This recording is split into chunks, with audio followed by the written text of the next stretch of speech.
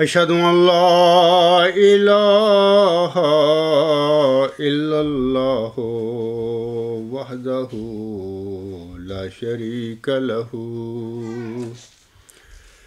وأشهد أن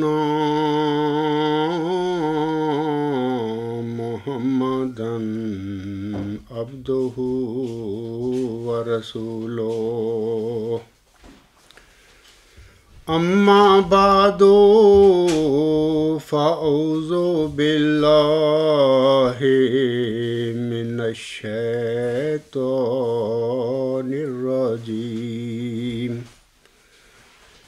بسم الله الرحمن الرحيم. الحمد لله رب العالمين الرحمن الرحيم مالك يوم الدين إياك نعبد وإياك نستعين. اهدنا الصراط المستقيم. صراط الذين أنعمت عليهم. صراط الذين عليهم غير المغضوب عليهم ولا الضالين واتلو عليهم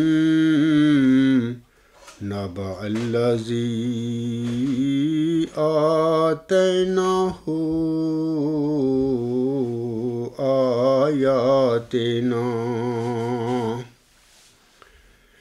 فانسلخ منها فأتبعه الشيطان فكان من الغاوين.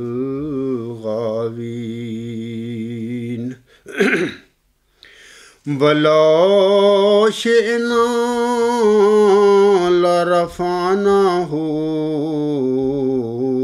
بها ولكنه أخلد إلى الأرض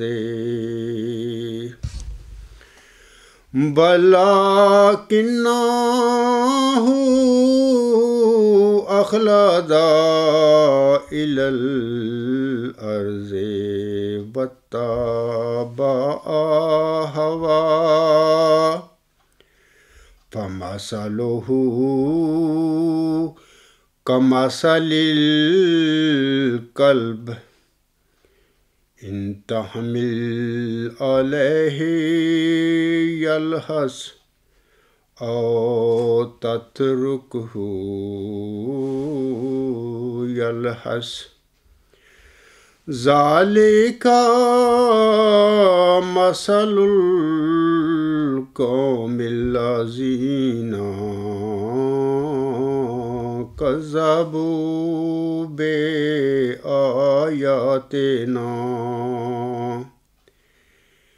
فاقصص القصص لعلهم يتفكرون یہ سورہ آراف کی آیت نمبر ایک سو چھہتر اور ایک سو ستر ہیں۔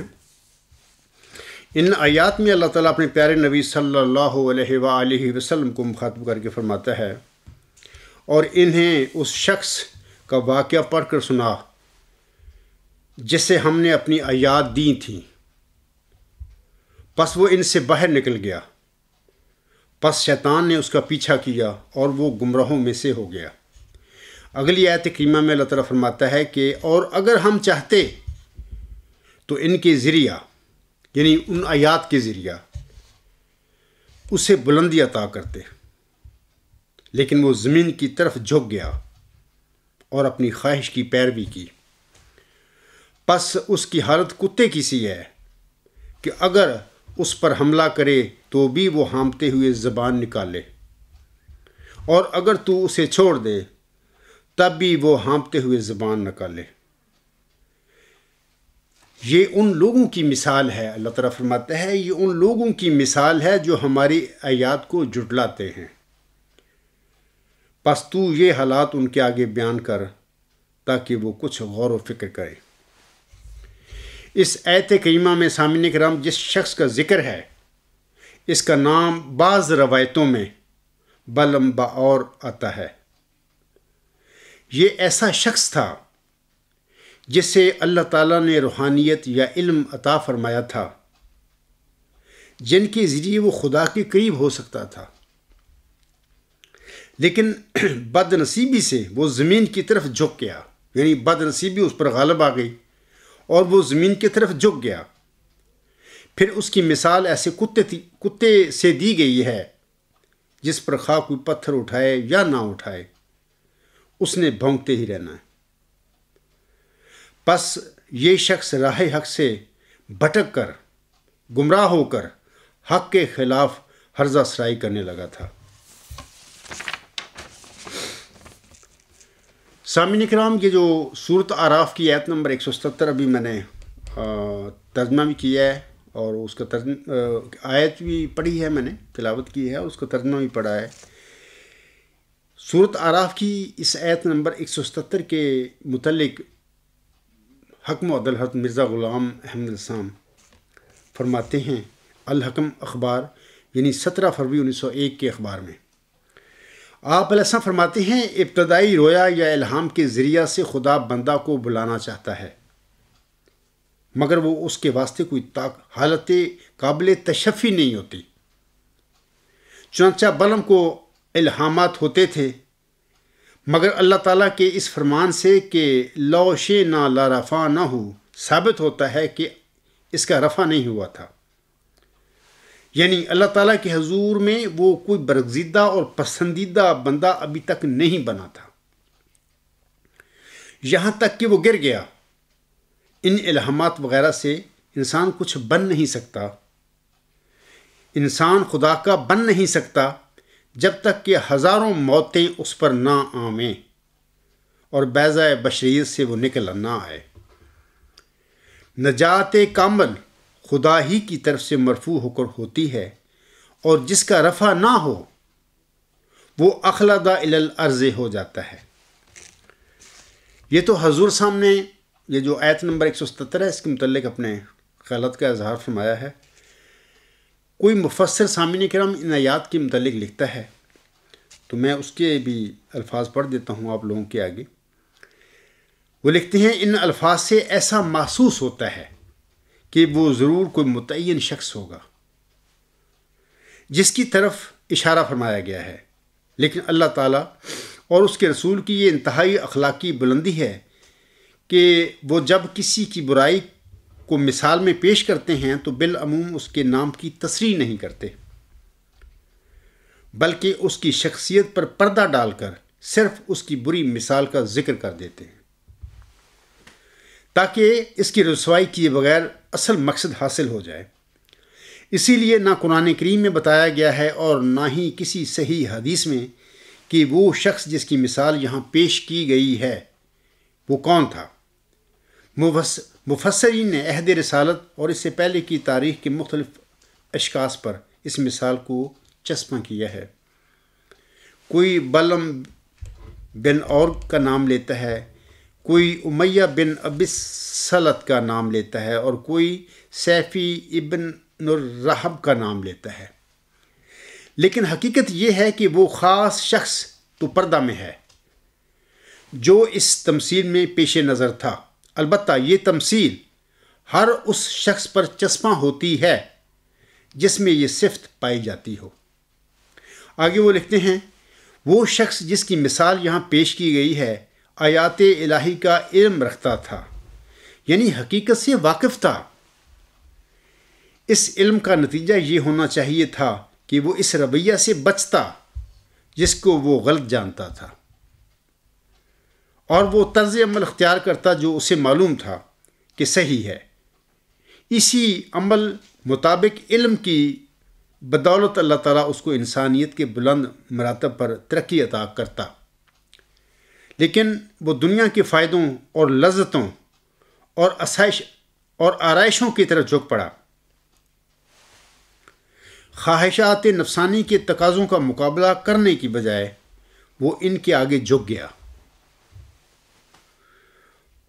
مالی امور کی طلب میں دنیا کی حرص و تما سے بالا تر ہونے کی بجائے وہ اس حرص و تما سے ایسا مغلوب ہوا کہ اپنے سب اونچے ارادوں اور اپنی عقل و اخلاقی ترقی کے سارے امکانات کو طاق دے بیٹھ، طلاق دے بیٹھا۔ اور ان تمام حدوں کو توڑ کر نکل بھاگا، جن کی نگہداشت کا تقاضا خود اس کا علم کر رہا تھا۔ پھر جب وہ محض اپنی اخلاقی کمزوری کی بنا پر جانتے بوجھتے ہوئے حق سے منہ موڑ کر بھاگا، تو شیطان جو قریب ہی اس کی گھات میں لگا ہوا تھا، اس کے پیچھے لگ گیا۔ اور برابر اسے ایک پستی سے دوسری پستی کی طرف لے جاتا رہا۔ یہاں تک کہ ظالم نے اسے ان لوگوں کے زمرے میں پہنچا کر ہی دم لیا، جو اس کے دام میں پھنس کر پوری طرح اپنی متائے عقل و ہوش کھو کر اسفل السافلین تک جا پہنچتے ہیں اس کے بعد اللہ تعالیٰ اس شخص کی حالت کو کتے سے تشبیح دیتا ہے، جس کی ہر وقت لٹکی ہوئی زبان اور ٹپکتی ہوئی رال ایک نہ بجھنے والی آتش ہرس اور کبھی نہ سیر ہونے والی نیت کا پتہ دیتی ہے۔ بنائے تشبیح وہی ہے جس کی وجہ سے ہم اپنے، ہم اپنی اردو زبان میں ایسے شخص کو جو دنیا کی حرص میں اندھا ہو رہا ہو، دنیا کا کتا کہتے ہیں۔ کتے کی جبلت کیا ہے؟ ہرس و آس، چلتے پھرتے اس کی ناک زمین سونگنے ہی میں لگی رہتی ہے کہ شاید کہیں سے بوئے تو عام آ جائے۔ اسے پتھر ماریے تب بھی اس کی یہ توقع دور نہیں ہوتی کہ شاید یہ چیز جو پھینکی گئی ہے کوئی ہڈی یا روٹی کا کوئی ٹکڑا ہو۔ پیٹ کا بندہ ایک دفعہ تو لپک کر اس کو بھی دانتوں سے پکڑ ہی لیتا ہے۔ اس سے بے التفاتی کیجیے اس سے بے التفاتی کیجیے تب بھی وہ اور توقعات کی ایک دنیا دل میں لیے زبان لٹکائے ہانپتا کامتا کھڑا ہی رہے گا۔ ساری دنیا کو وہ بس پیٹ ہی کی نگاہ سے دیکھتا ہے۔ کہیں کوئی بڑی سی لاش پڑی ہو، جو کئی کتوں کے کھانے کو کافی ہو تو ایک کتا اس میں سے صرف اپنا حصہ لینے پر اکتفا نہ کرے گا، بلکہ اسے صرف اپنے ہی لیے مخصوص رکھنا چاہے گا۔ اور کسی دوسرے کتے کو اس کے پاس نہ پھٹکنے دے گا۔ اس شہبت شکم کے بعد اگر کوئی چیز اس پر غالب ہے، تو وہ ہے شہبت فرج۔ اپنے سارے جسم میں سے صرف ایک شرمگاہی وہ چیز ہے جس سے وہ دلچسپی رکھتا ہے۔ اور اسی کو سونگنے پر، اور اسی کو سونگنے میں مشہور رہتا ہے۔ پس تشبیح کا مدعا یہ ہے کہ دنیا پرست آدمی جب علم اور ایمان کی رسی توڑا کر بھاگتا ہے اور نفس کی اندھی خواہشات کے ہاتھ میں اپنی باغیں دے دیتا ہے، تو پھر کتے کی حالت کو پہنچے بغیر نہیں رہتا۔ ہم تن پیٹ اور ہم تن شرمگاہ۔ واضح رہے کہ اس قسم کا بلم بور سامعین کرم ہر زمانے کے مرسل کی جماعت میں پیدا ہوتا رہا ہے اور آئندہ بھی پیدا ہوتا رہے گا۔ اس کے بعد سامعین کرم خاکسر اپنے آج کے لیکچر کے موضوع کی طرف آتا ہے۔ چھبیس ستمبر دو ہزار اٹھارہ بروز بدھ شام کو ساڑھے سات اور آٹھ کے درمیان اکرم محمود عرف خالد باستی صاحب کا فون آیا۔ ہماری قریباً نو، ساڑھے نو منٹ گفتگو ہوئی۔ اس سے پہلے بھی جب ان کے بھائی اکثیر صاحب فوت ہوئے تھے، تو ان دنوں میں بھی اکرم محمود صاحب کا فون ایک دفعہ مجھے آیا تھا اور اس وقت بھی ہماری آدھا گھنٹہ چالیس منٹ گفتگو ہوئی تھی۔ اب کی بار انہوں نے کہا، مجھے فون کرنے کے بعد کہا کہ جمبا صاحب، میں بالکل صحت مند اور ٹھیک ہوں۔ تو میں نے انہیں جواباً کہا کہ اگر آپ صحت مند ہیں، تو یہ بڑی خوشی کی بات ہے۔ میرے لیے تو بڑی خوشی کی بات ہے۔ اور میں نے انہیں کہا کہ جو بات آپ کے حوالہ سے مجھ تک پہنچی ہوگی یا پہنچی ہے، اس کا مطلب پھر یہ بنتا ہے کہ یا تو وہ غلط ہے اور یا پھر اس میں کوئی مبالغہ ہوا ہے یعنی وہ مبالغہ پر مبنی ہوگی۔ اس کے بعد ہماری باتیں ہوئیں اور انہوں نے دعا کی بھی، درخواست اس عائد سے کی اور یہ بھی انہوں نے کہا کہ آئندہ آپ کسی خطبہ جمعہ میں اس کا اعلان کر دیں۔ میں نے اسے کہا کہ میں دعا بھی کروں گا، اللہ تعالیٰ آپ پر رحم بھی کرے، صحت بھی دے۔ تو یہ بھی میں نے انہیں کہہ دیا کہ یہ بات میں کسی خطبہ میں اعلان کر دوں گا۔ اعلان کس کا کر دوں گا؟ اعلان یہ کر دوں گا کہ اکرم محمود صاحب بالکل ٹھیک ٹھاک ہیں، صحت مند ہیں، اور جو میرے تک بات کسی نے پہنچائی ہے، وہ پھر کسی غلط فہمی پر مبنی ہوگی۔ یہ میں نے اس کو کہہ دیا کہ میں اس کا اعلان کر دوں گا۔ گفتگو کے آخر پر انہوں نے پھر خاکسار کا شکر شکریہ ادا کیا اور اس طرح ہماری گفتگو ختم ہو گئی۔ سامنے کرم ٹیلی فون کے فوراً بعد اکرم محمود نے ای میل فورم پر جمبا صاحب نے اپنی غلطی تسلیم کر لی کہ عنوان سے ایک ای میل لکھ دی میری جماعت کے ایک ممبر نے پڑھی وہ ای میل، تو انہوں نے مجھے فون کیا۔ میں آپ لوگوں کو بتانا چاہتا ہوں کہ انہوں نے مجھے بتایا کس طرح کر کے خالد باستی صاحب نے ایک ای میل لکھی ہے اور اس کا عنوان انہوں نے یہ دیا ہے، جمبا صاحب نے اپنی غلطی تسلیم کر لی۔ میں آپ لوگوں کو بتانا چاہتا ہوں کہ دیکھیں، یہ بات غلطی تو میں اس وقت تسلیم کروں جب میں نے کوئی غلطی کی ہوئی ہو۔ جب میں نے غلطی کی ہی نہیں ہے تو اکرم محمود صاحب کا اس عنوان کے ساتھ کہ جمبا صاحب نے اپنی غلطی تسلیم کر لی، یہ ایک بہتان مجھ پر لگانا۔ اس اس نے کیوں لگایا مجھ پر بہتان؟ کیونکہ جو انہوں نے مجھے کہا، میں نے کہا کہ میں آئندہ کسی خطبہ جمعہ میں اس کا یہ اعلان کروں گا کہ جو خبر مجھ تک پہنچی یا کسی نے پہنچائی، جس ذریعے سے ہی پہنچی، اگر آپ صحت مند ہیں، تندرست ہیں، آپ کو کوئی بیماری نہیں ہے، تو اس کا مطلب یہ ہوا کہ وہ خبر جو میرے تک کسی نے پہنچائی ہے، وہ خبر غلط تھی۔ میں نے تو اس کا وعدہ کیا ان سے کہ میں اس کا اعلان کسی وقت میں کر دوں گا۔ لیکن انہوں نے، دیکھو یہ کتنا مکار آدمی ہے کہ انہوں نے یہ عنوان لگا دیا وہاں پہ اپنی ای میل میں کہ جمبا صاحب نے اپنی غلطی تسلیم کر لی۔ اب میں آگے بہت کچھ بتاؤں گا کہ آپ خود قارئین فیصلہ کریں، سامعین فیصلہ کریں کہ میں نے کون سی غلطی کی ہے جو میں نے اس کے آگے تسلیم کر لی تھی۔ میں نے غلطی کو کی نہیں، اس کے متعلق۔ تسلیم کرنے کی کیا بات ہے؟ تو بہرحال جس ممبر جماعت نے مجھے اس ان کی ای میل کی طرف توجہ مبزول میری کروائی تو میں نے ان کی تفصیلی باتیں سنی ساری، بہت ساری باتیں ان کی سنی۔ تو اس کے بعد میں نے اسی دن نا اس اکرم محمود کی اس بیانی کا اپنی مفصل ای میل میں رد کر دیا۔ اور لوگوں نے پڑھی ہوگی، ای میل فورم میں جو ہیں، دوست ہیں، وہ جانتی ہوں گے کہ اسی دن جب اس کی، اس عنوان سے کہ جمبا صاحب نے اپنی غلطی تسلیم کر لی، یہ ای میل انہوں نے جھوٹی لکھی تھی، غلط لکھی تھی۔ تو میں نے اس کی تردید کی۔ اس کے فوراً بعد اور ایک مفصل ای میل لکھ کر۔ اور دوستوں نے پڑھی ہوگی۔ اور میں نے اس سے یہ درخواست کی کہ اور اس سے معذرت کا مطالبہ کیا۔ ابھی آپ اس پر معذرت کریں گے کہ آپ نے جھوٹ بولا ہے اس اس کے متعلق۔ میں نے کوئی ایسی بات ہی نہیں کی آپ سے کہ میں نے کوئی غلطی کی ہو۔ میں نے سے اس کے آپ کے ساتھ گفتگو جو میری ہوئی اس میں میں نے اس کو تسلیم کیا ہو۔ ایسی تو بات ہی نہیں ہمارے درمیان ہوئی۔ آپ اس پر معذرت کریں۔ اگر آپ معذرت نہیں کریں گے، میں نے وہ مفصل ای میل پڑھ لیں دوبارہ۔ وہ ای میل پر ہے، وہ فورم میں لوگ پڑھ سکتی ہیں۔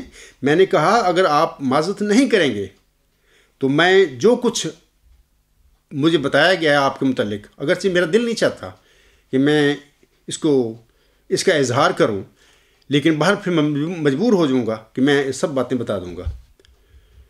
تو باہر انہوں نے معذت کرنے کی بجائے اکرم محمود نے اس عائز پر مزید گند بکنا شروع کر دیا۔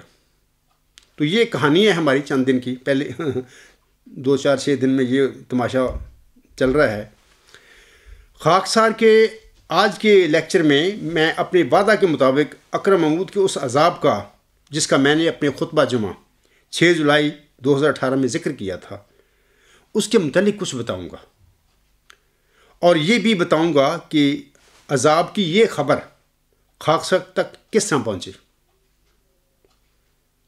سامعین اکرام، میں آپ لوگوں کو بتانا چاہتا ہوں کہ ہر مرسل کے دور میں کوئی نہ کوئی ابو جہل اس کے زمانے میں ضرور پیدا ہوا ہے۔ جس طرح میں نے ابھی بتایا ہے کہ ہر مرسل کے زمانے میں ایک نہ ایک بلم باور ضرور پیدا ہوتا ہے۔ اسی طرح یاد رکھیں کہ ہر مرسل، ہر صادق کے زمانے میں ایک نہ ایک ابو جہل ضرور پیدا ہوتا ہے۔ ہمارے پیارے آکاہت محمد مصطفیٰ احمد مجتبہ سسم کے زمانے میں عمر بن حشام جو تھا، وہ اس زمانے کا، آپ سسم کے زمانے کا ابو جہل تھا۔ اور یہ خبیص اکرم محمود صاحب میرے دور کا ابو جہل ہے۔ میں نے بڑا سمجھانے کی اس کو کوشش کی ہے، لیکن ایک بندہ یعنی میں میں یہ کہہ سکتا ہوں لوگوں کو بڑی یقین کے ساتھ، اب یہ ہماری جو گفتگو ہوئی ہے، ٹیلی فون پر چھبیس ستمبر کو اور اس کے بعد جو انہوں نے تماشا کیا ہے جھوٹا الزام مجھ پر لگا کے ای میل چھوڑ دی۔ جمبا صاحب نے اپنی غلطی تسلیم کر دی میں اس بات سے یقین مجھے ہو گیا کہ ایک بندہ، یہ جو بندہ ہے، دراصل یہ ہلا ہوا ہے۔ پنجابی میں کہتے ہیں وہ ہل گیا ہے۔ یہ بندہ ہلا ہوا ہے۔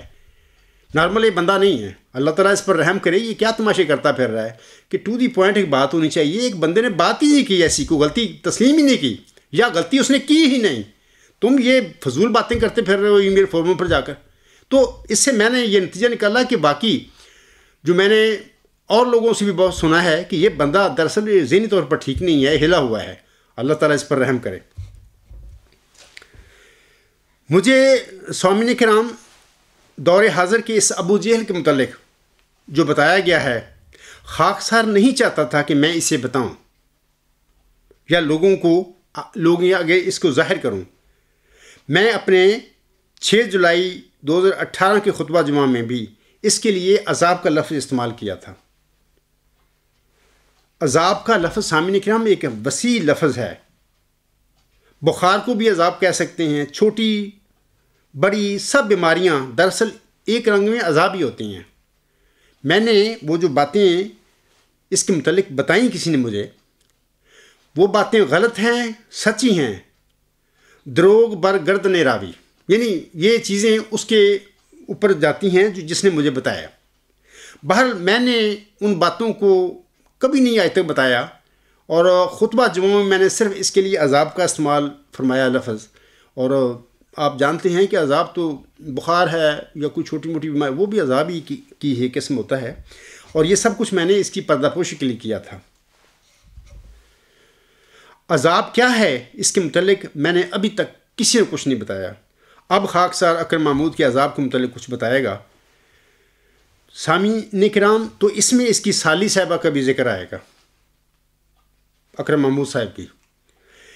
لیکن آپ یاد رکھیں کہ خاکسار کے ایک ہم زلف کے گھر میں ایک لڑکے کی پیدائش اجازی رنگ میں ہوئی تھی۔ یہ انیس سو اٹھاسی کا واقعہ ہے۔ میں نے مورخہ دس فروری دو ہزار ستارہ کے خطبہ جمعہ میں ایک لڑکے کی اعجازی پیدائش کے عنوان سے اس کا ذکر کیا تھا، اپنے خطبہ جمعہ میں نا۔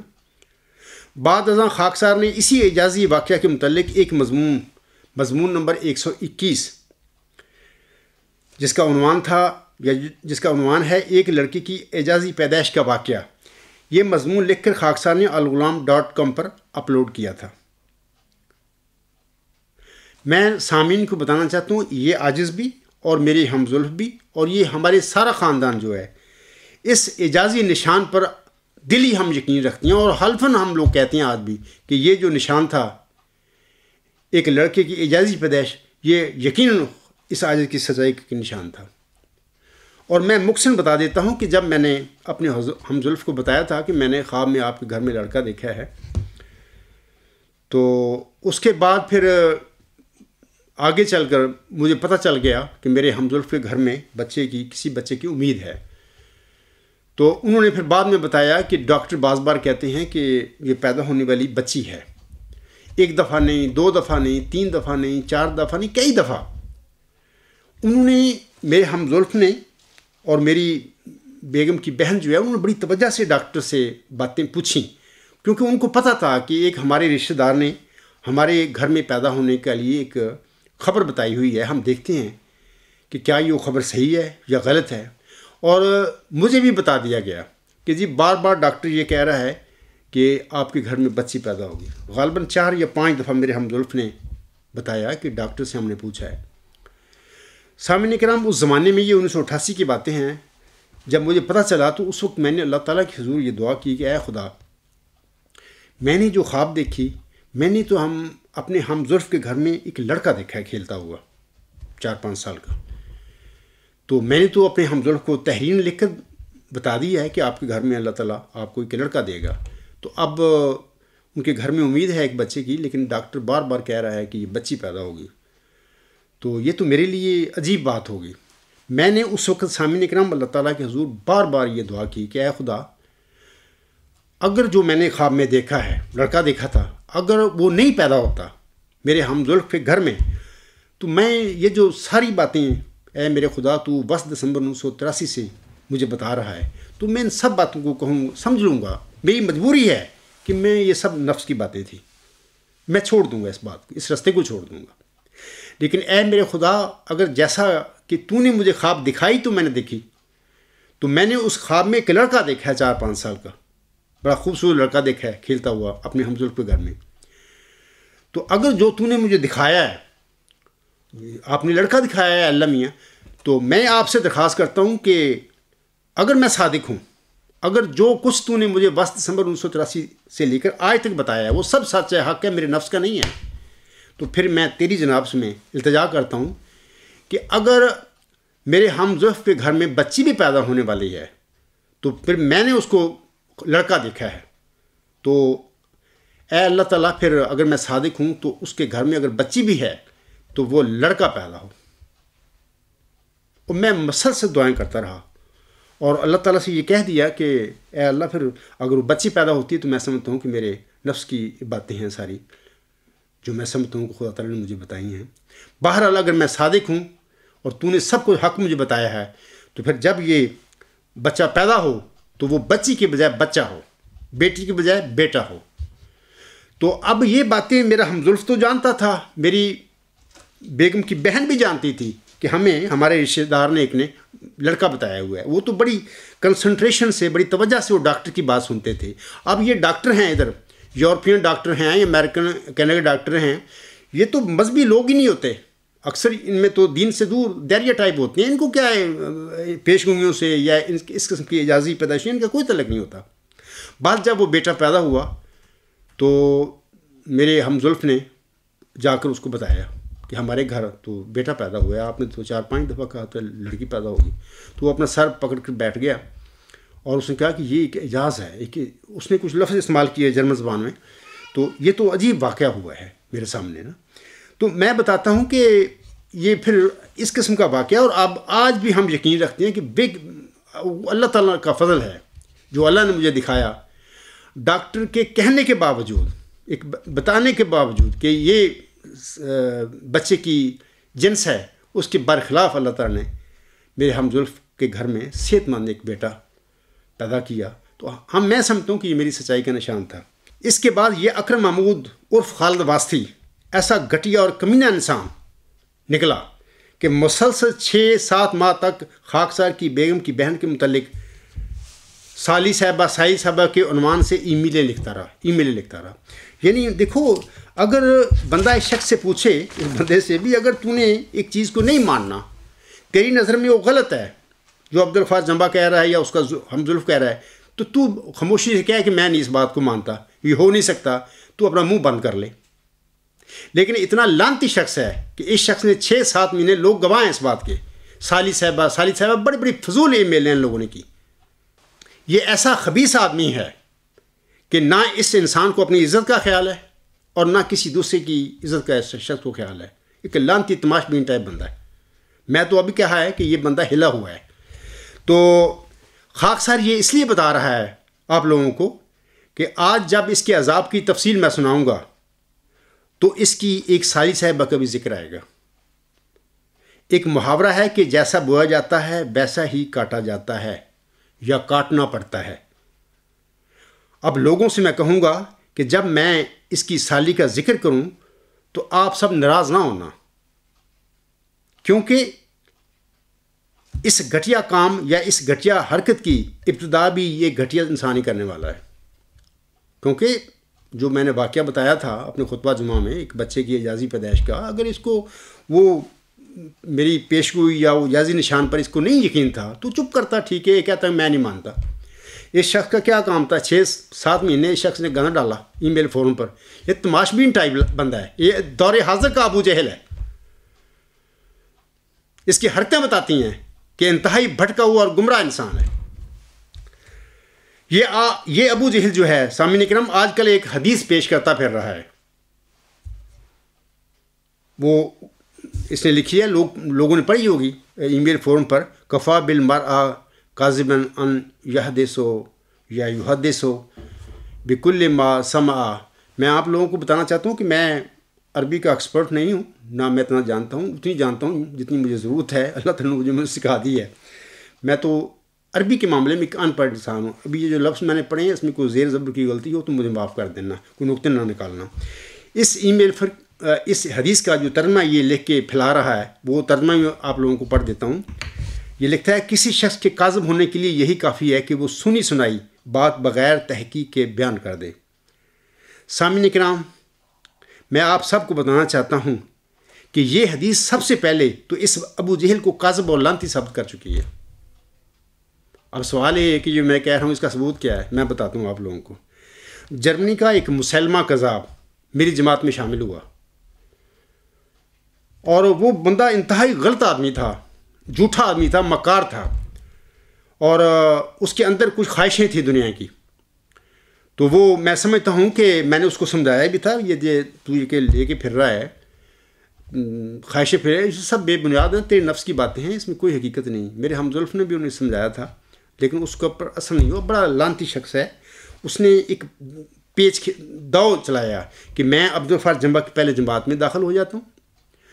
داخل ہونے کے بعد ایسا ایسا دو تین سال کے بعد پھر میں اپنا مدعا جو میرا ہے، وہ میں ظاہر کروں گا۔ تو اس سے میں بلیک میل کر لوں گا عبدالفار جمبا کو۔ یہ اس کا یعنی جب وہ میری جماعت میں داخل ہوا، اس نے بیعت کی، جس کا میں نے ای میل فون پر دکھایا بھی ہے لوگوں کو، تو اس کا اندر ارادہ یہ تھا، اس قسم کا تھا کہ میں بلیک میل کروں گا۔ میں لوگوں کو پوچھتا ہوں جو نیک لوگ ہیں دنیا میں، کبھی سچے مرسل جو ہوتے ہیں، خدا کی طرف بنائے کوئی اس قسم کے گھٹیا کام بھی کیا کرتے ہیں وہ؟ ان کو ضرورت نہیں ہوتی، نہ اس قسم کے وہ گھٹیا کام کرتے ہیں۔ جس انسان کو اللہ کھڑا کرتا ہے، وہ لوگوں کی جماعتوں میں شامل ہو کر ان کو بلیک میل نہیں کیا کرتا۔ وہ اپنا دعویٰ لوگوں کو بتاتا ہے اور کھڑا ہو جاتا ہے میدان میں، جیسے کہ یہ آج آج کھڑا ہے۔ یا ایک صدی پہلے حضرت مرزا غلام صاحب دنیا میں اپنے دعویٰ کے ساتھ کھڑے تھے۔ آسم کھڑے تھے۔ عیسیٰ موسا نو ابراہیم سب کھڑے تھے۔ وہ یہ نہیں کیا کرتے کہ لوگوں میں ایسے ایسے جماعتوں میں پہلے داخل ہوتے ہیں۔ پھر ایسا ایسا مقصد ہوتا ہے کہ مکر کے ساتھ دو چار سال کے بعد ہم اپنا مدعا ظاہر کریں گے بلیک میل کریں گے۔ ایسی کام تو ایک شیطان کا چیلا کر سکتا ہے۔ کوئی ابو جہل کر سکتا ہے۔ کوئی مسلمہ کذاب جیسا انسان جس نے آسم کے ساتھ بھی اپنی زندگی میں اس قسم کا تماشا کیا تھا، اس قسم کا وہ کام کر سکتا ہے۔ ای میل فون پر سامعین کرام، یہ جو بندہ ہے جو بعد میں میری جماعت میں داخل ہوا، مرزا بشیر الدین محمود کو بھی کانا دجال یک یک چشم دجال ثابت کرتا رہا۔ یہ سب کچھ میرے لیے کر رہا تھا کہ تاکہ جمبا صاحب خوش ہو جائیں، تاکہ جب میں کہوں گا کہ میں تو نبی ہوں یا میں آپ کا نائب ہوں، تاکہ میری تو مجھے مان لیا جائے۔ گا نا یہ سب کام اس بندے نے اس کے لیے، کام کے لیے کیے۔ مرزا مسور کو بکری چور ثابت کرتا رہا ہے۔ یہ ساری ای میلیں، ای میل فون پر موجود ہیں۔ حتیٰ کہ اسی اکرم محمود کی جوان بیٹی کی کہیں سے تفسیر لے کر اور اسی اسے ای میل فون پر ڈال کر اس کا مذاق اڑاتا رہا۔ یہ بندہ۔ یہی مسلمہ کذاب اکرم محمود کو بھی گالیاں بکتا رہا اور اسے ماگڈبرگ بلاتا رہا ہوٹل میں۔ اور اس زمانے میں اکرم محمود کی مجھے ای میل آئی تھی کہ آپ بتائیں کہ یہ باقی اس نے ہوٹل لیا ہوا ہے، یہ بلا رہا ہے۔ تو میں نے، یاد نہیں مجھے کیا لکھا تھا جواب میں نے یہ کہا تھا کہ میں نے نہ اس کو کہا ہے اس کا کام کرنے کے لیے، نہ میں جانتا ہوں وہ کیا کرتا پھر رہا ہے۔ تو بال یہ دیر کی باتیں ہیں۔ لیکن وہ ای میل فورم پر اسی اکرم معمول کو گالیاں بکتا رہا۔ جب ہماری جماعت میں اس بندے کا کوئی مقام نہ بن سکا، ایسا ایسا دو ہزار سولہ میں اس نے لوگوں کو اپنے طور پر کہنا شروع کر دیا، میں بھی نبی ہوں۔ لوگ جانتے ہیں، میری جماعتی احمدیہ اسلام پسند کے لوگ بھی جانتے ہیں۔ سارے یہ تماشے اس نے دو ہزار سولہ کے جلسہ پر کیا کیا۔ تو پھر اس نے سوال جواب میں کھڑے ہو کے شروع کر دیا کہ میں نبی ہوں، فلانا ہے۔ لوگ سن لیں، کیونکہ دو ہزار سولہ کے سوال جواب میں میں نے اس کے جواب دیے۔ تو میں نے اس کو سمجھایا ہے کہ دیکھیں، جو لوگ خدا تعالیٰ کی طرف سے کھڑے کیے جاتے ہیں، وہ لوگ دوسروں کی جماعتوں میں داخل آ کر ان کو بلیک میل نہیں کیا کرتے۔ وہ اپنے طور پر کھڑے ہوتے ہیں۔ ان کی اپنی جماعتیں ہوتی ہیں۔ وہ لوگوں کی، دوسری لوگوں کی جماعتوں کی، مدعیوں کی جماعتوں کی یا مرسلوں کی جماعتوں کی سہارا نہیں لیا کرتے۔ میں نے بالکل اس کو بہت سمجھایا۔ تو جب اس کا کام نہ بن سکا تو اس شخص نے ایسا لانتی بندہ ہے، اس نے اپنی بیٹی کی پیدائش پر ایک حقیقہ کرنا چاہا تھا اور مجھ سے درخواست کی تھی کہ میں یہ پیسے چاہتا ہوں کہ جماعتی امی صاحب ان کو دوں۔ کیونکہ وہاں پر دے دوں گا تو اللہ کے راستے میں دوں گا تو یہ میرا حقیقہ ہو جائے گا بیٹے کا۔ تو ہم نے، ہمیں اس کے اندر کا کیا پتہ تھا کہ یہ بتنا اتنا پلید انسان ہے۔ تو میرے انہوں نے پیسے دیے تو جو سیکٹری مال تھے ہمارے، جرمنی کے، انہوں نے وہ لے لیے وہ، اور غالب اس کی رسید بھی کچھ دے دی اس کو۔ تو بعد میں جب اس کا کام نہ بنا تو یہ یہ لانتی نے وہ پیسے مانگنے شروع کر دی کہ میرے پیسے واپس کرو۔ میرے پیسے کھا گئے۔ ہو اب میں لوگوں سے پوچھتا ہوں کہ اس قسم کے بندے، اس قسم کے لوگوں کو، لانتیوں کو اللہ نبی بنایا کرتا ہے۔ اس قسم کے پلید فطرت لوگ جو ہوتے ہیں، جھوٹے۔ مکار اور بدکار، اس قسم کے لوگوں کو اللہ نبی بناتا ہے۔ یہ میں آپ لوگوں کو ایک نبی کی بات بتا رہا ہوں جو میری زندگی میں، میرے زمانے میں بنتا پھرنا ہے۔ بننے کی کوشش کر رہا اور بھی بہت سے مدعی ہیں۔ سلطانی صاحب ہیں منیر اعظم صاحب ہیں، اور کینیڈا میں بھی ہیں۔ اور ایک تو بیچارے فوت ہو گئے، یو کے میں تھے اسد اللہ شاہ صاحب۔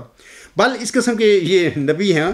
لیکن میں آپ لوگوں کو بتانا چاہتا ہوں کہ مرزا غلام سم کے زمانے میں آپ کے علاوہ پندرہ سولہ دعوے دار تھے۔ اور آپ ایک واحد ایک انسان تھے جو سچے تھے۔ آج بھی بہت سارے نبیوں کی، مدعیوں کا ملا لگا ہوا ہے، لیکن ان میں ایک ہی سچا ہے اور ایک ہی صادق ہے۔ الحمدللہ، میں سمجھتا ہوں کہ وہ یہ عاجز ہے۔ خاکسار لوگوں کو یہ بھی بتانا چاہتا ہے سامعین کرام کہ یہ اکرم محمود دور حاضر کا ابو جہل، اسی خنزیر صفت اور اسی مسلمہ کذاب جو اس کی بیٹی کی تصویریں ای میل فون پر ڈالتا پھر رہا تھا، اسی کی شے پر یہ لانتی امریکہ سے سفر کر پاکستان گیا۔ اور پھر وہاں خاکسار کے گاؤں ڈاور پہنچا۔ اس نے خاکسار کی برادری میں بعض ہمارے دشمن جو ہیں، ازلی دشمن، کیونکہ آپ لوگ جانتے ہیں کہ برے صغیر میں ایک شریکہ سسٹم کلچر پیدا ہوا ہے ہندوؤں میں۔ مسلمانوں سے پہلے یہ چلا آ رہا ہے کہ جو شریک ہوتے ہیں، وہ ایک دوسرے کی بڑی دشمنی کرتے ہیں۔ ان کو اپنے کھانے کی فکر نہیں ہوتی۔ وہ جو شریک ہوتا ہے، وہ چاہتا ہے کہ جو میرے شریک ہیں، وہ کیوں کھانا کھا رہے ہیں؟ وہ ان کا فکر کرتا ہے، ان کو مٹاتا ہے یا جو بھی ہے، ان کے کام ہوتے ہیں۔ یہ ایک بیماری ہے، دنیا کی بیماری، سمجھ لیں، نفس کی بیماری کہہ لیں کہ اللہ تعالیٰ لوگوں کو اس شر سے، اس نفس کی بیماری سے بچائے۔ میں تو ہمیشہ دعا کرتا ہوں۔ لیکن چونکہ ایک کلچر ہے ہمارے بر صغیر میں یہ ہوتا ہے اور ہمارے بھی گاؤں میں ہمارے مخالف ہیں، شریک ہیں وہ لوگ۔ آٹھ دس نسلیں پیچھے جا کے ہم لوگ مل جاتے ہیں۔ ایک ہی ہمارا کوئی جد امجد بن جاتا ہے۔ اس کی نسل سے ہیں ہم لوگ، وہ بھی جمبے ہیں میں بھی جمبا ہوں، لیکن ازلی دشمن ہیں۔ اور اس قسم کے خبیص لوگ ہیں۔ میں کہتا ہوں کہ ابو جہل اور ابو لہب بھی اگر اس وقت دنیا میں موجود ہو تو وہ بھی شرمائیں دیکھ ان کو دیکھ کے۔ اتنے گھٹیا لوگ ہیں، یہ لوگ ہیں۔ الحمدللہ، اللہ تعالیٰ نے اس عاجز کے والد کو تو ایک صاحب سربت بنایا۔ پاکستان میں بھی یہ لوگ ہمارے ہماری زمینیں اگایا کرتے تھے۔ تو پاکستان بدلنے کے بعد کافی چیزیں بدل گئیں۔ حالات جو غریب تھے، وہ امیر ہو گئے۔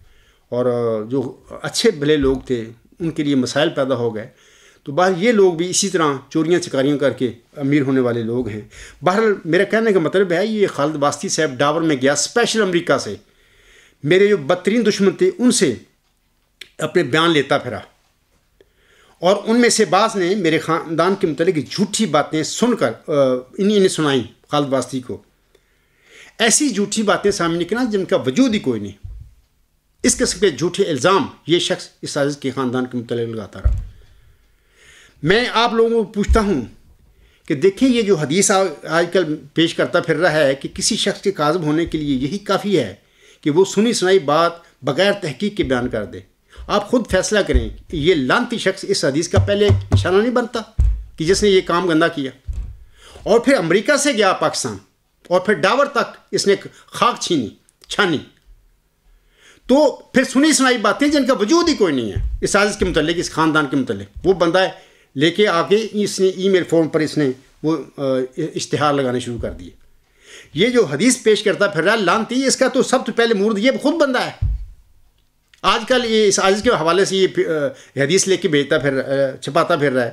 آپ لوگ اس سے ہی پوچھیں کہ جناب یہ تو آج کل حدیث لکھ کر ای میل فون پر اس کا اشتہار لگاتا پھر رہا ہے۔ سب سے پہلے تو یہ گھٹیا اور غلیظ کام تو تو نے کیا ہے عبدالفار جمبا کے خاندان کے متعلق۔ سنی سنائی باتیں جا کی بلکہ مخالفوں کی بھی۔ میں ایک اور بات بتا دینا چاہتا ہوں کہ بعض کو جب دنیا میں پیدا ہوتا ہے، کوئی ایسا اللہ تعالیٰ کا بندہ جس کو اللہ معمور فرماتا ہے، تو لوگوں کا حق ہے اس کے متعلق تحقیق کریں، یہ حق ہے لوگوں کا۔ لیکن تحقیق اس قسم کی ہونی چاہیے کہ جو شرفا ہیں، مثلا جس جگہ پر وہ بندہ پیدا ہوا ہے اس کے ماحول میں جا کر گاؤں میں پیدا ہوا ہے، شہر میں پیدا ہوا جہاں پیدا ہوا وہاں پہ جو شرفا بستے ہیں، جو اس کے دشمن نہیں اس مدعے کے۔ اگر ثابت ہو جائے کہ یہ دشمن ہیں، ان سے ان کی بیان کی تو کوئی حقیقت ہی نہیں ہوتی۔ وہ تو جھوٹے بیان، اس کا الزام لگائیں گے۔ ہاں شرفا جو ہوتے ہیں اس ماحول کے، جن میں وہ بچہ پیدا ہوتا ہے، اس کے متعلق وہ پوچھیں کہ یار، یہ شخص جو دعویٰ کر رہا ہے، اس کی دعوے کے متعلق آپ کیا کہتے ہیں؟ یہ اس کی پہلی زندگی آپ کی، اس شخص کی آپ کا بچپن یا جوانی آپ لوگوں میں گزری ہے کیسا تھا؟ یہ تو حق ہے لوگوں کا، لیکن یہ حق نہیں ہے کہ بدترین جو دشمن ہو اس بندے کے، کیونکہ آسم کا بھی قبیلہ تھا، ان میں بھی لڑائیاں جھگڑے تھے، ان کے بھی دشمن تھے اس زمانے میں۔ بس عیسیٰ ابن مریم جو جہاں پیدا ہوا تھا، ان کے بھی دشمن بھی تھے، دوست بھی تھے۔ ہر مرسل جو ہوتا ہے، اس کے جہاں پر پیدا ہوتا ہے، اس کی برادری میں، جس خاندان میں، جس گھر میں، اس کے دوست بھی ہوتے ہیں، دشمن بھی ہوتے ہیں۔ لیکن اس کے دشمنوں سے جا کے بیان لینا تو یہ ایک شیطانی کام تو ہو سکتا ہے، یہ ایک نیک کام نہیں ہو سکتا۔ کوئی نیک اور متکی بندہ جو وہ کام نہیں کرے گا۔ ہاں شیطان کا چیلا جو ہوگا وہ کام کرے گا۔ ابو جہر ٹائپ بندے ایسے کام کریں گے۔ میں آپ کو مثال دیتا ہوں کہ اگر وہ لوگ جو ہر مرزا وسلم کے وہ کزن تھے، وہ تو قریبی رشتے دار ہیں۔ کزن تھے وہ، نظام دین، مرزا امام دین۔ اگر کوئی لوگ جا کے اس سے پوچھا بھی ہے، کچھ لوگوں نے جا کے مخالفوں نے، کیا وہ وہ کیا بتاتے ہو؟ میرا سر ہم کو دکاندار کہتے تھے اپنی زندگی میں۔ کئی بیان ہے اس وقت۔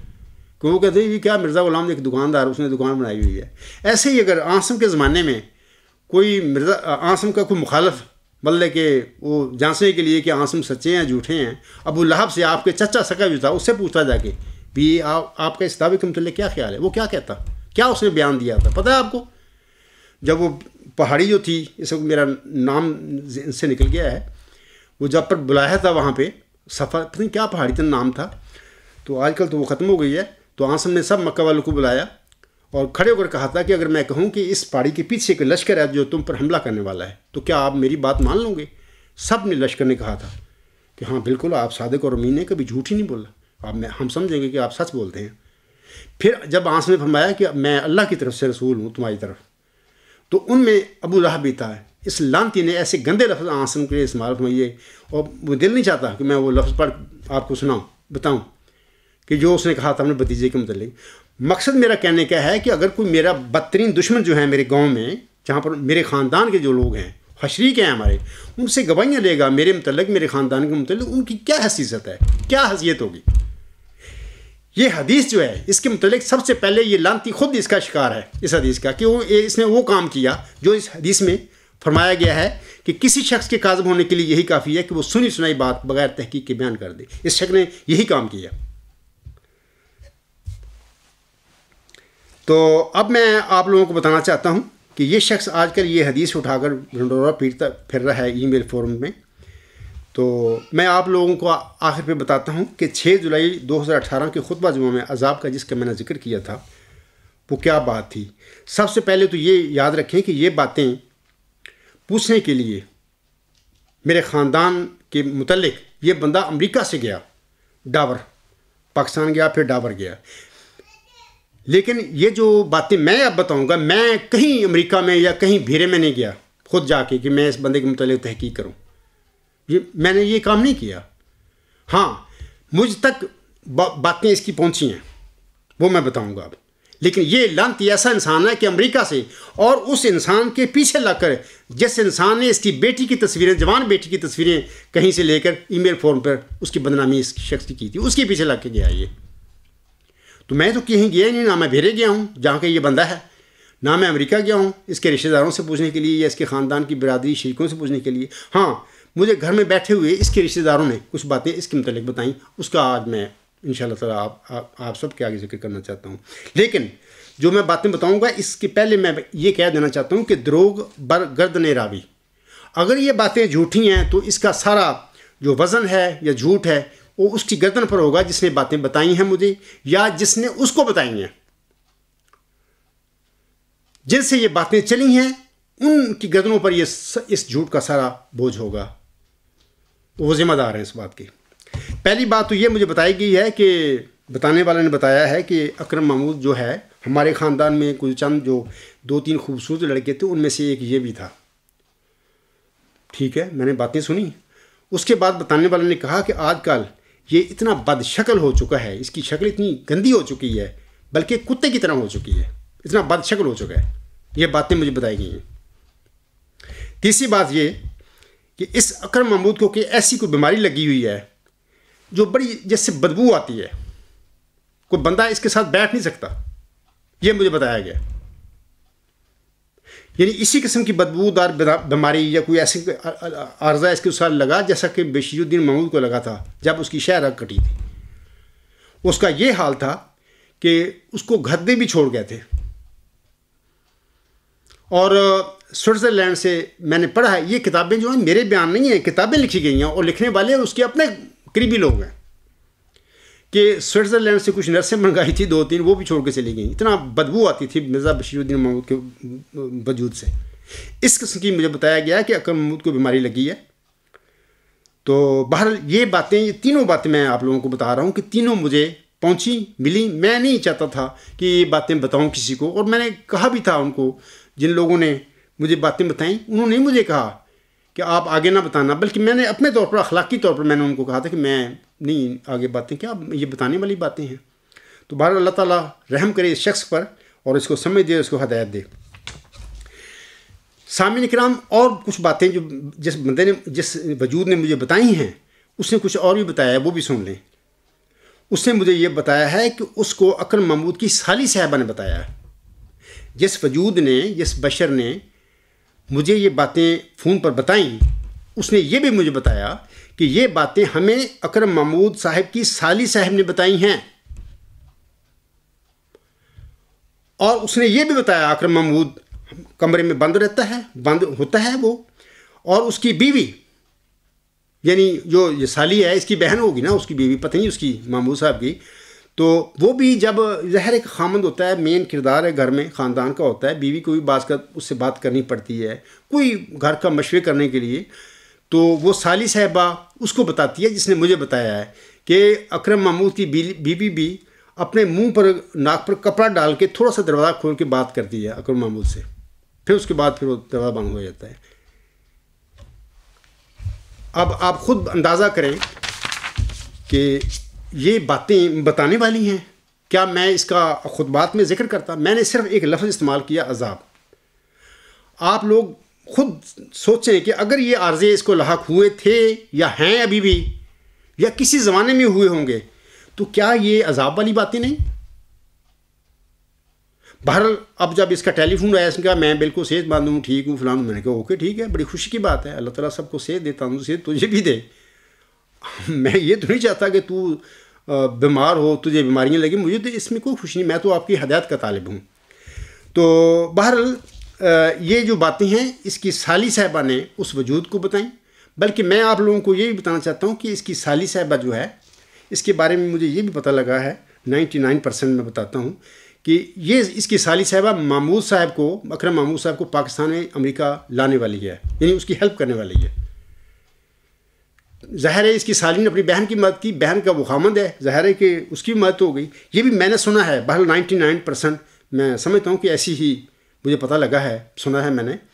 تو باقی یہ بات ہے کہ اگر اکرم محمود صاحب کی یہ سالی باتیں بتاتی ہے، تو یہ معاملہ تو ان کے گھر کا معاملہ ہے۔ اور یہ بھی یاد رکھیں کہ جس وجود نے مجھے بتایا کہ اکرم محمود کی سالی نے مجھے بتایا، اس نے صرف اسی کو نہیں بتایا، خاندان کے اور بہت سارے لوگ ہیں۔ جن کو محمود صاحب کی مکرم محمود صاحب کی سالی نے یہ باتیں بتائی ہیں۔ صرف ایک وجود نہیں ہے جس نے مجھے بتایا ہے، اور بھی لوگ ہیں۔ اب سوال یہ ہے کہ اگر اکرم محمود کو یہ بیماریاں نہیں لگیں، تو پھر اکرم محمود صاحب کی بیوی نے اپنی بہن کو یہ جھوٹی باتیں پھر کیوں بتائیں؟ اکرم محمود صاحب کو چاہیے کہ دوسروں پر غصہ کرنے کی بجائے تحقیقیں کرنے بھی اپنے گھر کی خبر لیں پہلے۔ اپنے بیوی، اپنی پتنی سے پوچھے کہ بیگم، یہ باتیں میں سن رہا ہوں کہ تو نے بتائی ہیں اپنی بہن کو، جو اس کی سالی لگتی ہے۔ اور سالی نے آگے بتا دی۔ اور سالی بھی ایسی ہے جس کے متعلق، جیسے کہ ابھی میں نے کہا ہے کہ وہ اس کی موسن ہے، اکرم محمود کی۔ وہ اپنی، اس نے ہیلپ کی، کسی، مجھے نہیں پتا کیسی ہیلپ کی، کس قسم کی کی۔ باہر کسی نہ کسی طریقے سے اکرم محمود اور اس کی فیملی کے وہ کام آئے۔ تو اب سوال یہ پیدا ہوتا ہے کہ اگر وہ کام آئی ہے تو یہ وہ جھوٹی باتیں پھر کیوں اڑا رہی ہے؟ وہ تو وہ تو مخلص ہیں ان لوگوں سے۔ اور ان ان پر انسان احسان کرنے والی ہے۔ اور یہاں پر ایک اور بات میں بتا دیتا ہوں۔ دیکھیں، اکرم محمود کہے گا کہ یہ سالی صاحب جھوٹ بولتی پھر رہی ہے یا اس نے جھوٹ بولے ہیں۔ میں یہاں پر لوگوں کو کہوں گا کہ اس شخص سے پوچھو کہ عبدالفار جمبا کے ڈاور میں عبدالفار جمبا کے شریکوں نے جو جھوٹ بکے ہیں عبدالفار جمبا کے خاندان کے متعلق، تو پھر کیا وہ جھوٹے نہیں ہیں؟ اگر تمہاری سالی جھوٹی ہے، اگر تیری بیوی نے یہ باتیں نہیں بتائیں اس کو، اس نے اپنے پاس سے جھوٹ جھوٹ کر لیے ہیں تو کیا عبدالفار جمبا کے جو شریک، جو بدترین دشمن ہے اس کے، کیا وہ جھوٹ نہیں کر سکتے عبدالفار جمبا کے متعلق؟ تو دیکھیں، جیسے کہ ابھی میں نے کہا ہے کہ جو انسان as you sow so shall you reap جیسا بو گے، ایسا کاٹو گے۔ تو میں یہاں پر بتانا چاہتا ہوں، اکرم محمود صاحب سے کہتا ہوں کہ دیکھیں خاص کر کا دعویٰ ہے مئو ذکی علام مسیح حضمہ ہونے کا۔ خاکسار کے دعویٰ کو جٹرانے کے لیے خاکسار کے خاندان پر گند اچھالنے کی بجائے کوئی علمی دلیل لاؤ۔ بلکہ بشیر الدین محمود کے دعویٰ مسمود کو ہی سچا ثابت کر کے دکھا دو۔ اس کے ساتھ ہی جب آپ ثابت کر دو گے خلیفہ ثانی صاحب کا دعویٰ سچا تھا مسلم موت کا، میرے دعوے کی تو بنیاد ہی ختم ہو جائے گی۔ اب اکرم محمود کو چاہیے کہ وہ اپنی بیوی سے پوچھیں کہ انہوں نے اپنی بہن یا آپ کی سالی صاحبہ کو آپ کے متعلق یہ جو باتیں میں بتا رہا ہوں کیوں بتائیں؟ جھوٹی باتیں ہیں پھر، اگر یہ جھوٹیاں تو۔ ویسے ایک سچی بات بھی بتا دی ہے تو آپ بھی تصدیق کریں گے۔ بتانے والے میں نے مجھے بتایا ہے کہ اکرم محمود، ہمارے خاندان میں دو تین جو خوبصورت لڑکے تھے، یہ تو آپ کی تعریف ہے نا بھی آپ کی اچھی اللہ نے شکل صورت دی، بڑی خوشی کی بات ہے۔ تو یہ تو سچی بات ہے کہ اچھی شکل و صورت والے لڑکوں میں ایک اکرم محمود بھی تھا۔ یہ تو انہوں نے سچی بات کی۔ تو اگلی باتیں اگر انہوں نے غلط کر دی ہیں تو اپنی بیوی سے پوچھیں اور اپنی سالی سے پوچھیں۔ اور اس کے بعد یہ باہر کے جو لوگ ہوتے ہیں، ظاہر ہے کہ گھر کا بندہ اگر باہر کے لوگوں کو بتاتا ہے، تو ظاہر ہے کہ جب گھر سے باہر بات نکل جاتی ہے، تو پھر وہ رستے میں نہیں کھڑی ہوتی، وہ چلتی رہتی ہے۔ ہر بندہ کہہ دے گا جی یہ میں آپ کو بتا رہا ہوں، آگے نہ بتانا۔ تو وہ کیسے ہو سکتا ہے کہ وہ آگے نہ بتائے؟ تو یہ چلتا رہتا ہے سلسلہ۔ تو خالد محمود صاحب کو چاہیے کہ اپنی ساحلی صاحب سے پوچھیں اگر یہ ساری باتیں غلط ہیں، تو انہوں نے آپ کی متعلق یہ غلط باتیں آپ کے دوسرے رشتہ داروں کو کیوں بتائیں؟ باقی خاکسار کو آپ کے کسی، کس رشتہ دار نے یہ سب کچھ بتایا ہے؟ آپ اپنے ان رشتہ داروں سے پوچھ لیں جو اس آجز کی جماعت میں ہیں۔ کوئی دو چار سو رشتہ دار نہیں ہیں آپ کے میرے جماعت میں۔ آپ جانتے ہیں۔ جو آپ کے رشتہ دار ہیں، قریبی رشتہ دار ہیں جو میری جماعت میں ہیں۔ آپ ان سے پوچھ لیں، ان میں سے کوئی نہ کوئی ہوگا۔ کیونکہ پہلے تو اپنی بیوی سے پوچھیں نا کہ اس نے کیوں غلط باتیں بتائیں آپ کی سالی کو۔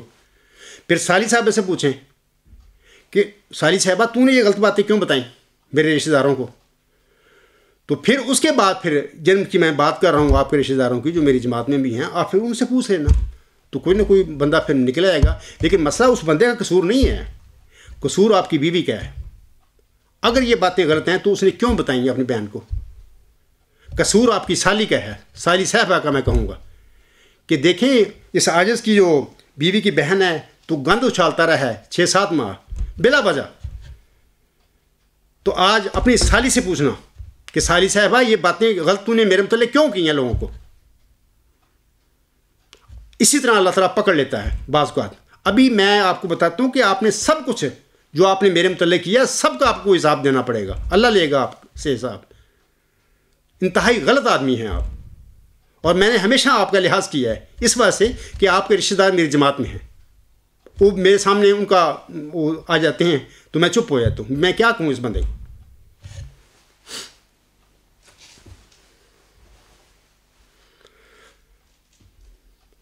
اکرم محمود، تو نے اگر سچائی اور دلیل کا راستہ چھوڑا ہے تو کیوں چھوڑا ہے؟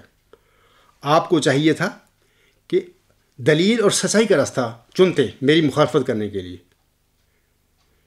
لیکن تو ایک ایسا گھٹیا اور کمینہ انسان ہے۔ تو نے ایک انتہائی گھٹیا راستہ چنا ہے میری مخالفت کے لیے جو ابو جہل جو تھا، اس نے جو چنے تھے راستے۔ جو محمد سلم بٹالوی نے راستے چنے تھے میرا صاحب کی مخالفت کے لیے۔ تو نے بھی وہ راستے چنے ہیں۔ لیکن میں آپ کو کہتا ہوں کہ سچائی کبھی ختم نہیں ہو سکتی۔ اور وہ سچائی اپنا آپ منوا لیتی ہے۔ لیکن برخلاف سچائی کے جھوٹ کے پاؤں نہیں ہوتے، جس پر وہ کھڑا ہو سکے۔ ایک ابو جہل تو عمر بن حشام تھا۔ سامعین کرام، جس نے ہمارے پیارے آقا محمد مصطفیٰ احمد مجتبہ وسلم کو دکھ دیے تھے۔ اور ایک ابو جہل تو یعنی اکرم محمود اور خالد واسطی ہے، جس نے اس عاجز پر ظلم پر ظلم ڈھائے ہیں۔ تو میں یہ کہہ سکتا ہوں کہ تو میرے زمانے کا ابو جہل ہے۔ عاجز کی ان شاء اللہ تعالیٰ میں بتاتا ہوں کہ جب میں نے بس دسمبر انیس سو تراسی میں وہ سجدے کا واقعہ ہے، اس میں جو میں نے دعائیں پڑھیں، آخری دعا جو پانچویں ہیں وہ یہ تھی کہ اے ازلی ابدی خدا مجھے زندگی کا شربت پلا میں سامعین کو بھی بتانا چاہتا ہوں اور اس ابو جہل کو بھی بتانا چاہتا ہوں، دیکھیں یہ دعائیں خدا نے میری قبول فرمائی ہیں۔ یہ الہام مجھ مرزا صاحب پر نازل ہوئے تھے۔ یہ ان کی الہامی دعائیں ہیں، مقبول الہامی دعائیں یہ پڑھی، اس عاجز کو توفیق ملی۔ یہ خوش نصیبی میری کہ میں نے پڑھی اللہ کے آگے۔ اور مجھے سجدہ میں پتہ چل گیا تھا کہ میری دعائیں قبول ہو گئی ہیں۔ تو یاد رکھ اکرم محمود صاحب ان شاء اللہ تعالیٰ دنیا میں ہمیشہ اس عاجز کا ماؤ ذکی غلام مسیح و زماں کے طور پر نیک نامی کے ساتھ نام زندہ رہے گا۔ اور تو ہمیشہ میرے وقت کا بطور ابو جہل یاد رکھا جائے گا۔ یہ لازمی بات ہے اب۔ اب تو آ گیا ہے میرے سامنے۔ اور میں تیرے سامنے ہوں۔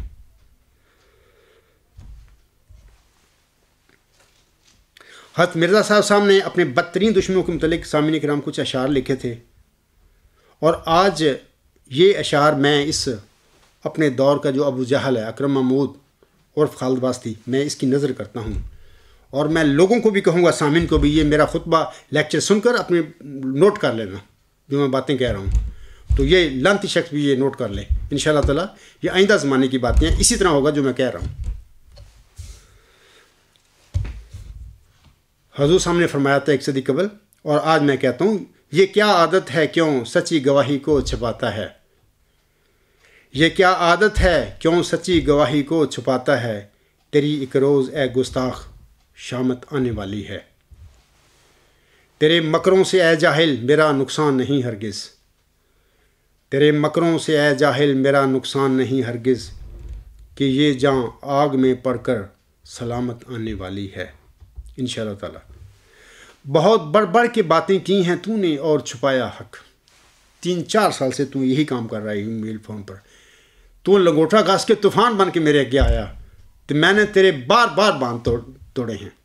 بلکہ ایک ای میل فارم کا ہمارا ایک ساتھی، اس نے تو یہاں تک لکھ دیا ہے کہ عبد الفار جمع نے تو قلعہ ٹھوک دیا ہے ان کو۔ وہ گواہ ہے اس بات کا۔ بہت بڑھ بڑھ کے باتیں کی ہیں تو نے، اور چھپایا حق، مگر یہ یاد رکھ، ایک دن ندامت آنے والی ہے۔ خدا رسوا کرے گا۔ اکرم محمود صاحب، خدا رسوا کرے گا تم کو، میں اعزاز پاؤں گا ان شاء اللہ تعالیٰ۔ سنو، اے من کرو اب یہ کرامت آنے والی ہے۔ ان اشعار کے بعد میں کہنا چاہتا ہوں لوگوں کو کہ دیکھوں یہ جو چھ جولائی دو ہزار اٹھارہ کے خطبہ جو میں نے عذاب کے متعلق بات کی تھی، وہ آج میں نے پوری بتا دی ہے۔ اب میں نہیں چاہتا کہ بار بار اس موضوع پہ مضمون لکھوں یا خطبات میں اس کا ذکر کروں۔ اس حوالے سے اس موضوع پر میرا آخری آج خطاب ہے۔ اس کے بعد میں کبھی بھی اس بندے کے متعلق اس قسم کی باتوں میں نہیں آؤں گا۔ یہ ای میلیں لکھیں گا، گند اچھالتا پھرے گا مجھے کوئی کنسر نہیں ان باتوں کا۔ بہرحال میں نے اپنا کام پورا کر دیا اور جو لوگوں سے میں نے کہا تھا کہ میں بتاؤں گا، وہ میں ان شاء اللہ تعالیٰ، جیسے کہ میں نے پچھلی مفصل ای میل میں کہا تھا کہ میں وہ باتیں بتاؤں گا، تو میں نے آج بتا دی ہیں۔ تو بہرحال یہ اس موضوع پر میرا آخری لیکچر ہے۔ اس کے بعد میرے اور بڑے کام ہیں، میں نے کام کرنے ہیں۔ میرا کام یہ نہیں ہے کہ اس بندے کے ساتھ میں بولتا پھروں۔ پما علینا البلاغ باخر و دوان الحمد للہ رب العالمین اولم و آخرم و ظاہرم و باطن ہو و مولانا، نعم المولا و نعم النصیر و نعم الوکیل.